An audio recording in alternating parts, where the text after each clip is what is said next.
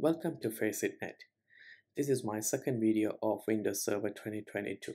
On this video, I'm going to show you how to install and configure Active Directory Domain Controller on Windows 2022 and then I'm going to show you how to join Windows 11 to that. Alright, so let's start the installation here. So before we start the installation, let's go check the system and whether the system is ready to start the Active Directory Domain Controller installation. So the first task of that is to check the IP address. Let's check what's the IP address given on this computer. So this has got an IP address 32.200, so that's fine.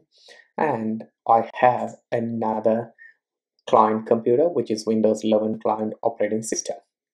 So I'm going to install the Active Directory on this machine. For me to install the Active Directory, I'm going to go back to Server Manager.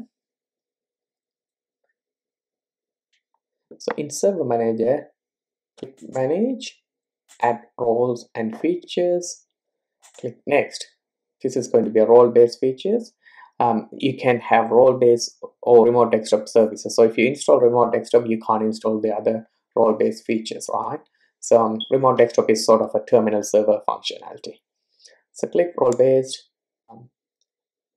I'm going to install on this virtual server with the IP address of 200 and then click next. The service that I'm going to install here, Active Directory Domain Services, right? So this is going to install Active Directory Domain Services. Right, you can see Active Directory Federation, Active Directory Lightweight Services, Active Directory Certificate Services, DHCP and DNS. So that uh, order has changed, right? In Windows Server 2016 and 19, you had these Active Directory, DHCP and Active Directory on the top, and then you had DHCP, DNS there. So here they just put the important services on the top, right? So with the Active Directory, I'm going to install the DNS as well. I don't need the DHCP right now, so I'm going to install the DNS. Click Next click next. Pretty much I can leave this as a default. Um, this is for your Active Directory domain services as well as to connect it with your uh, Azure web services if you have got a Microsoft Azure services. So the DNS delegation part um, so that's that comes in here right? DNS server integration and Active Directory so automatically it happens. And then I'll say yeah restart if you need and click install Right, so now I'm just installing the Active Directory services. Once the Active Directory services has been installed, I'll need to promote this as a domain controller, right? So it's a two-step process. First you install the services and then you promote it as a domain controller. So let's wait for the installation to complete. Right, now we can see the installation is completed let's close it and go back to this and promote this as a domain controller. Here we go. I'm going to specify the domain details. Since this is my very first domain controller this is going to be a forest if there's a domain controller on an existing domain then you can pick it or you can add as a, a domain controller on an existing forest. In my case this is the first forest so i'm going to put it as a first and the domain name.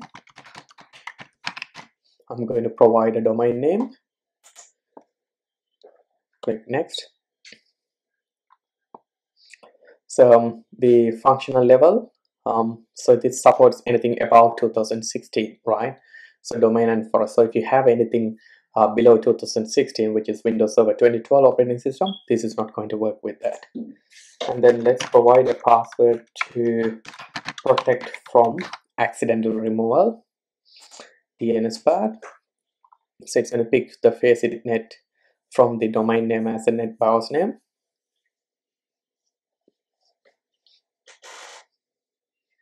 Yep. Next.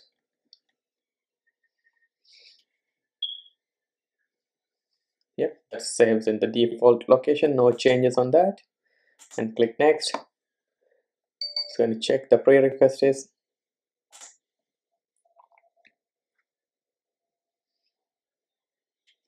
Yep all the prerequisites are uh, working well. So we have satisfied the prerequisites click next. Right. So it is now promoting this workstation computer or workgroup computer to a domain controller once it's done we can see it will ask you to restart. When you restart the login prompt is going to change FaceItNet backslash then administrator and then put the password of your administrator to log in there. Right. So let's um, this to complete and we'll go back to our windows 11 machine and to make sure that this has got also a static IP address on this windows 11 machine. Um, I'm sure this is my yep virtual machine so this is my virtual machine. So because I have got my local computer is also Windows 11 so I just wanted to confirm this is my local machine. Right so that's my local machine domain over group so they have changed the option here. You can see here in Windows 11 the settings has changed.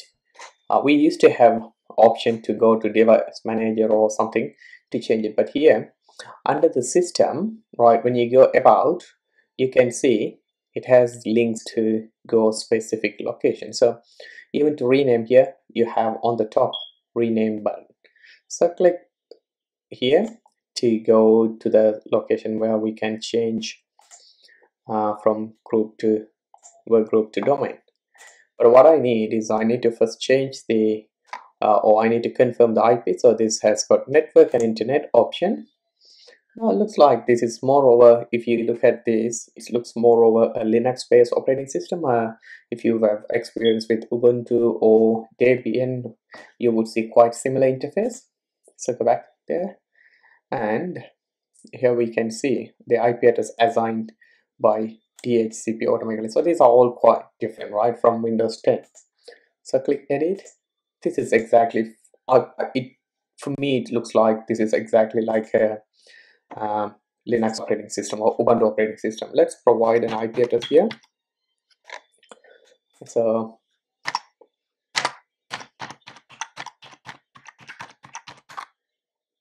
I'll give a 10 subnet mask. Oh, yeah, here we go.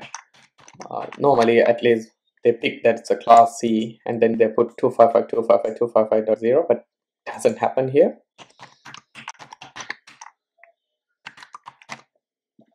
So the preferred DNS is my domain controller. Right. DNS encryption. So you can specify even the preferred DNS encryption, right? Wow. Um, alternative DNS. Save. So now I can see the manual IP address has been assigned here. Right? Good.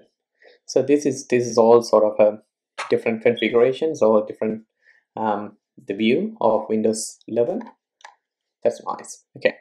So let's go back one step again. Um, you don't have internet just because I know I have removed the DNS um, the once the domain controller is completed the installation so it's just almost completed. Uh, I'm sure that the service has been installed and now it's, it's restarting. So when it come back it's going to be a domain controller. And all we have to do is we need to change. So uh, before we move on and change here let's go to command prompt. And see whether I can ping that domain controller.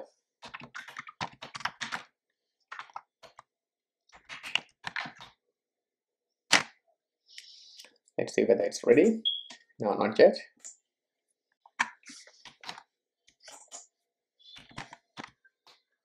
So let's put a continuous ping and I can see, yeah, it resolves the IP to 200. So that's mean I can definitely join to the domain controller, right? So um, let's close this and go change. Click on domain.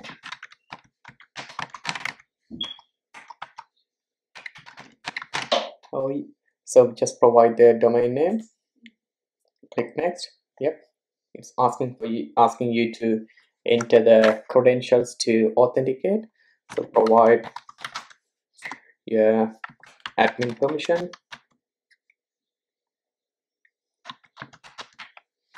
And give you a password. Click ok. Yep so since my server is ready let's log in. You can see now it's changed. Uh, let me go in and let this system ready. So what happens? Let's see what happens here. Yep it's joined. Click ok. It's going to ask you to restart. Cool. Let let the windows 9 11 machine to restart. While it's restart come back here. And let's go to tools users and computers to see any difference. Um, there's no much difference. I can see exact same thing. Uh, it just pick the domain controller um, let me go back to DNS and see any, any difference here. Not really the same thing. Um, I can see almost the same configurations. Def um, so the additional features or the changes on Windows 2019 to 2022 we'll look at look into another video. But as of now we have seen how to join Windows 11 operating system to Windows Server 2022 so it's rebooting. Let's see how does it look like. It's ready. It's asking to enter. Um, here I pick the domain. Dash.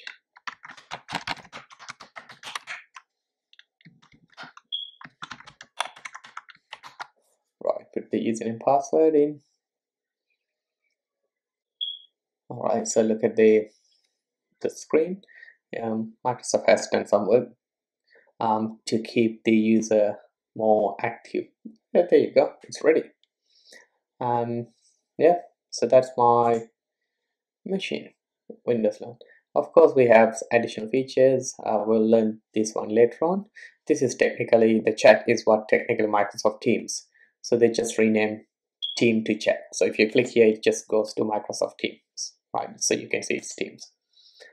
Yep go on there um, go to the folder. You can see the icons have changed completely. Um, that's all Windows 11 features. Right for me it looks like we have gone back to old days with these same icons um, but they looks nice. Right so that's all Windows uh, so that's a Windows Server 2022 and that's Windows 11 they both are on the same domain. Bye. thanks for watching